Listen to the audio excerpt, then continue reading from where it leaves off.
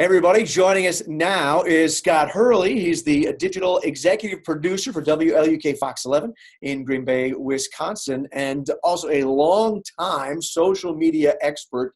Uh, Scott, thanks for joining us.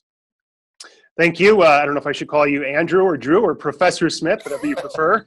oh, Drew's just fine. That, will right. work right. just fine. And yep. Scott was on the forefront of producing as as the digital became bigger and bigger and as social media became really a thing in local news production scott was on the cutting edge of being able to strategize and figure out just what it is that makes these things run and what it is that uh, what it gives to a local news organization. And first of all scott let me just ask you what kind of things are you focusing on now? Where are we today as you have fox 11 as well as cw14 you're kind of a duopoly out there in green bay? What kind of things uh, are take your time particularly in that social Facebook uh, sort of moves the goalposts to use a, a, sports analogy but you know every few months they come up with a different algorithm with a different strategy idea for uh, news organizations to publish and it's up to us to keep on top of that to make sure that we're maximizing that resource that we have um, and and we're able to use that. You know, one of the things they came out with that our company, our ownership group, Sinclair Broadcast Group, Facebook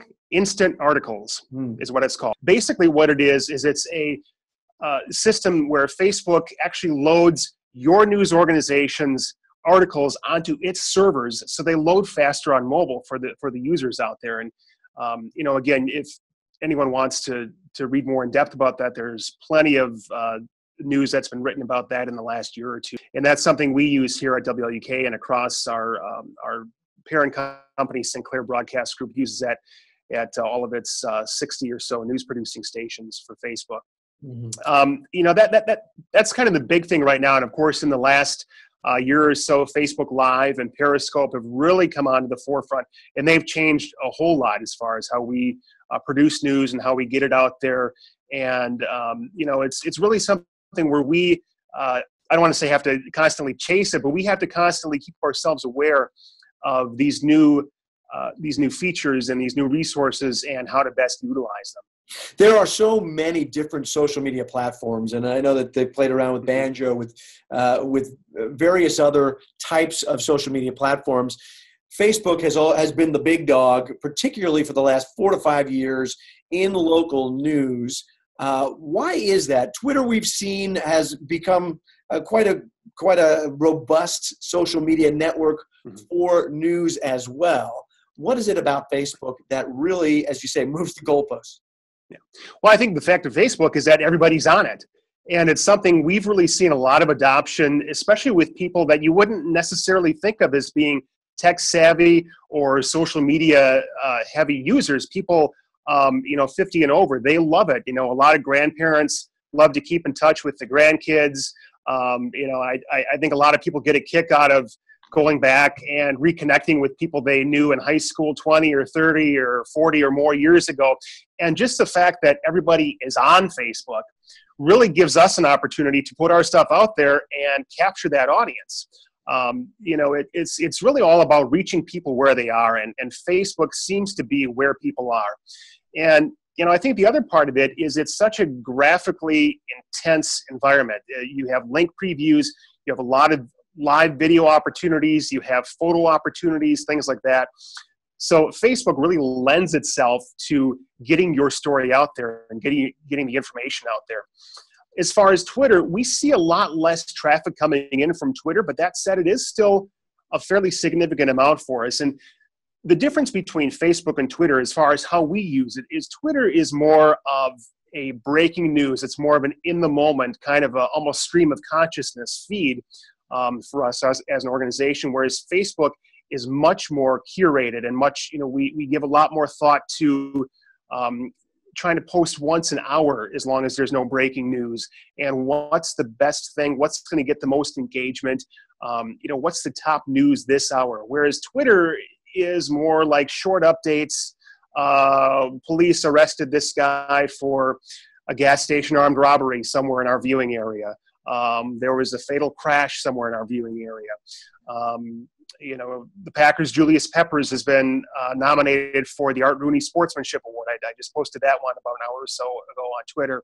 Um, you know, just short little updates that maybe aren't necessarily the most pressing news for everybody at the moment, but they're they're short updates, and the people who are on Twitter and who use it, which is a smaller amount than on Facebook, but um, it's it's really that's how people use Twitter is to get that really in the moment breaking type news. Let's take a story then from when it breaks and your best practices as what your flow of social media, not just distribution, but also being able to have that uh, that engagement and what kind of engagement are you looking for and take me through that for two or three days and what you're looking to do as the digital executive producer out there at fox 11 what are you what are you hoping to see from everybody on staff Sure.